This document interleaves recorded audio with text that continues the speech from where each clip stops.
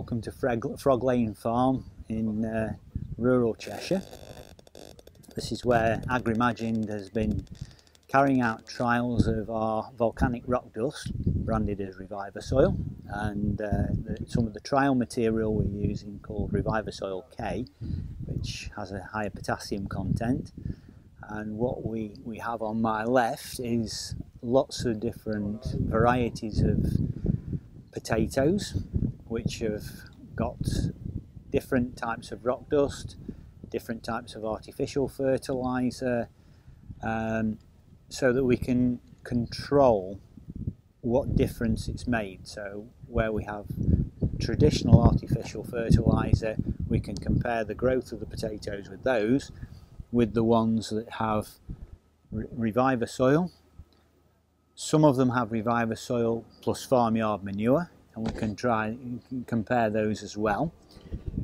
Sadly, we've not had enough rain to make a visible difference, or not enough of a visible difference, I think, for you to pick it up on uh, on a video sweep there. But um, Andrew Ollier, who lives and farms here, tells me that he can see a slight difference in the health of the plants, in that the ones with just fertilizer, the leaves are beginning to wilt a little bit and they're not quite as tall, whereas with, with the, the rock dust, with the RevivaSoil, the leaves are, are standing much more firmly and the plants are slightly higher. And this is a, an event that was launched last year to, to demonstrate to potato farmers different varieties of potatoes. So I can see Maris Piper potatoes in front of me and to my left and there are different varieties further on. And we've, uh, we've tagged along this year to launch Revive the Soil and to, to tell the farmers about what, it is and the benefits of it.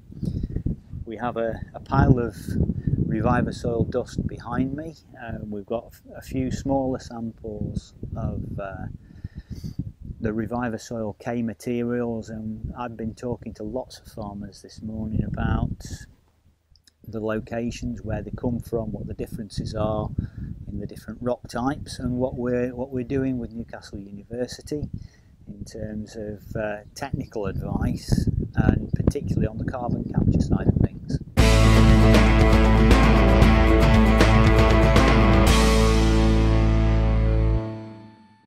My name's Andrew Ollier. We've been running tests with and without Revivasoil. Um, we applied it in the spring um, and we're just starting to get some results through now.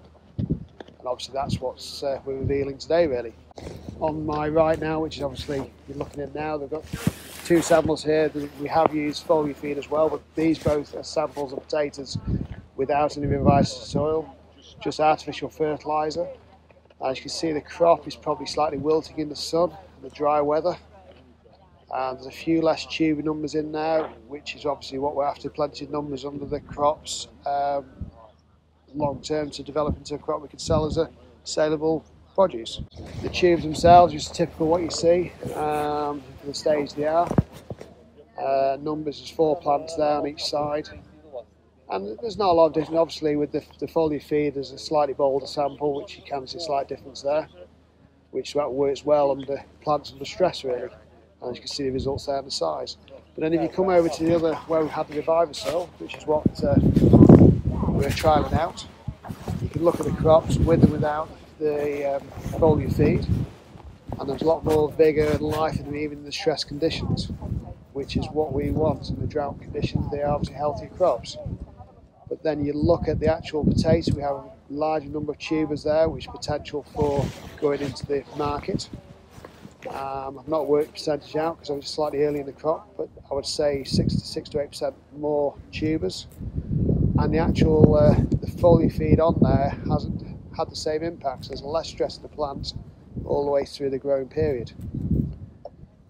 Um, interesting to see, but the time will tell in the next four or five weeks when they come to the position to harvest how they look and we'll do some better yield digs and skin quality and everything else to see how it goes but so far it's looking very promising you're seeing definite results here, yeah? We are certainly with the hot weather. We can I, I can see in the crops, the, the obviously the vigor in there. They're a lot healthier because they've had and all they've had is a variety of soil which has been mixed into the bed that planting. I would have thought is allowing to release the nutrients within the soil, and obviously there's a lot of nutrients within the soil which has just not been utilised. It's all been locked up. We are historically quite high P and K farm, uh, soil into threes and fours, if not fives and it's all there. It's free fertiliser. We're just not utilising it. So it's how we get that fertiliser out without without chucking more at it. What we have in the large pile at the back. This is this is our standard approved RevivaSoil rock dust screened through the quarry mesh at 4 millimeters and finer so you may see some longer particles than 4 millimeters in length, but they're very narrow, long and thin. So as long as they'll go through a 4 by 4 millimeter hole, they get into the product, that's fine. And this is the material that contains a full range of nutrients and micronutrients, everything from silicon, which is the main uh, main element present right the way down to trace elements and micronutrients that we're measuring in parts per million. Things like boron, cobalt, copper, zinc, and all the things that plants need to thrive and flourish. So, the first part of it is basically to explain the process, okay, of, of what we're trying to achieve with with the the rock dust. So here's the quarry. They do the processing, ends up in a bag, for example, or a truck. Spread it on the land. We can absorb CO2 and we get a good crop. That's the object of the exercise. On the back here we explain the carbon capture mechanism, what is actually happening. That's Newcastle University are heavily involved in that because they are explaining to us what we do. Okay. Um, and then these are the key elements that we've got in the rock dust. Yes. But that is the key bit for the plant, the silica. Okay. And that that's what makes the plants grow and everything else. So fantastic for grains, cereals, grasses, because of improving the stem cell, etc. on there. Not not necessarily with all the vegetables. If you've got a vegetable on the stem, yes, that's the key to it all. And people in Queensland are using it on sugar cane very successfully. Now, in these days that we're, we're living in at the moment, where the price of fertiliser, chemical fertiliser, has really gone through the roof from something like a few, a few 200 pounds maybe at the end of last year up to more like 750 or more. We're looking at other rock types which might contain potassium.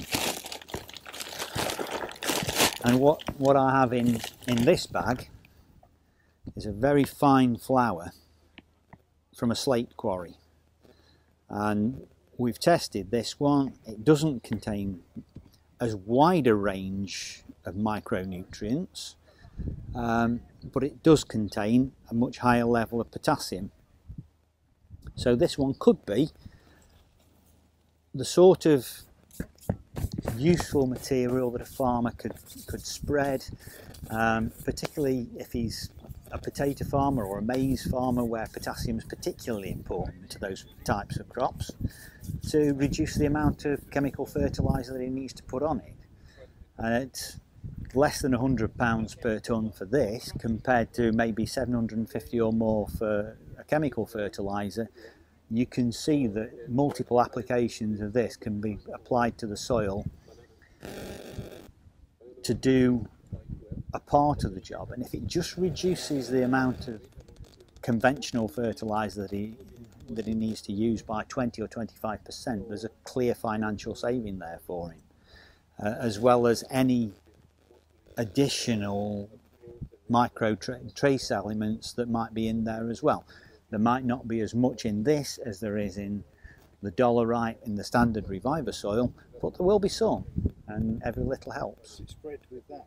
And it's spread with the machine behind us over there, which is a, I believe, a 1950s Bedford truck. Not all lime spreaders use a machine as old as that one. But what we, we were interested to find with this was that, particularly for the very fine flour, that this machine was capable of, of spreading the machine in the, the dust without it clogging up in the back, without it flying up into the air and blowing for five miles down the road and landing on somebody else's field instead of yours.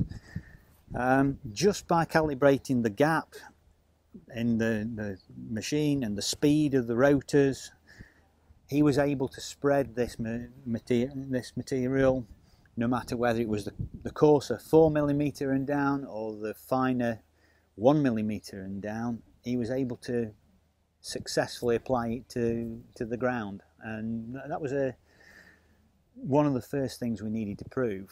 Uh, having a very, very fine powder, you can imagine if it's a very windy day, it could quite easily get up into the atmosphere and go where you really don't want it.